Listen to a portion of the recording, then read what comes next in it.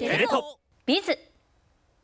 えー我々今ですね年に一度の世界的な講演イベントの会場に来ています、えー皆さんこちらのロゴ見覚えあるのではないでしょうか、えー TED カンファレンスです、えー今回ですねテレビ東京が世界中のメディアで唯一内部の撮影を許可されました。今回のメインのテーマやはり AI です。It feels like we're entering an historic period right now. Getting AI right is going to require participation from everyone.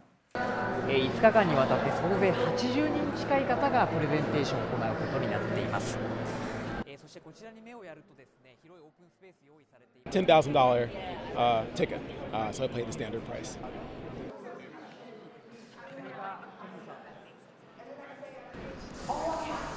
はい。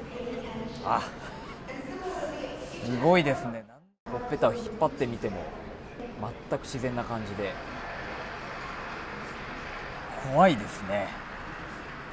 えーこちらがですねプレゼンテーションが行われるメインの会場なんですけれども現在リハーサル中ということなんですが特別に中見せていただくことに